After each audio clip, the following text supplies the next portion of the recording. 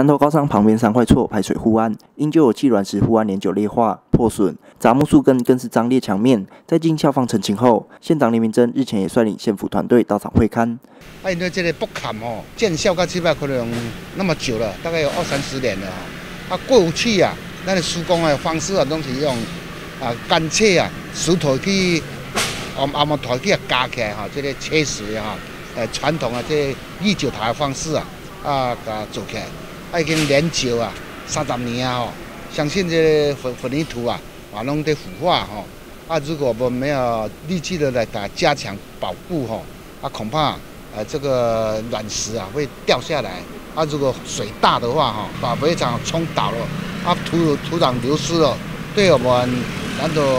高山的教室啊，会构成很大的危险。县长林明珍指出，护安年久以来已经裂化破损，将会请县府团队紧速改善，保障老师及学子的安全。啊，所以我们今天的会勘呐，啊，我们的侯校长啊，上次的会勘呐，他就向我建议，啊，所以我们回去啊，就积极的来筹措经费啊，为了让学生啊有个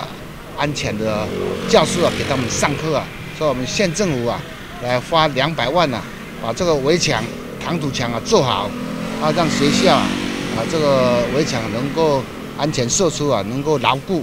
南投高商校长何景彪表示，户外年久裂化的情况对于师生有极大的危险，也感谢林县长前来会看并允诺改善。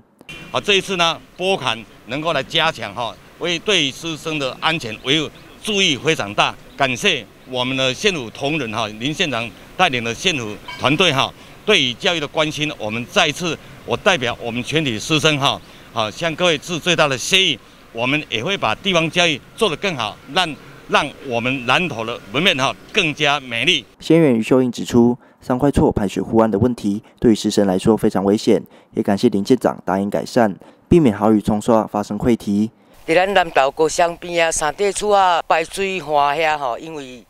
这是用石头来砌的，所以讲足侪年的吼，拢无改善，有一寡壁啊吼，甚至讲吼，伊的草啊发芽呢，相当的危险。即届咱嘛感谢讲林馆长的用心，专工来遮会勘吼，并且答应要来改善。尤其边啊是南投高乡安全第一啦，学生啊也是老师的安全嘛，希望讲会勘了后会当尽速来施工，避免讲落大雨的时阵会发生讲覆水的问题。也期许在会勘过后，相关单位能够紧速规划来施工。将护岸改善，避免大雨来临时危及到师生的安全。记者熊俊南投采访报道。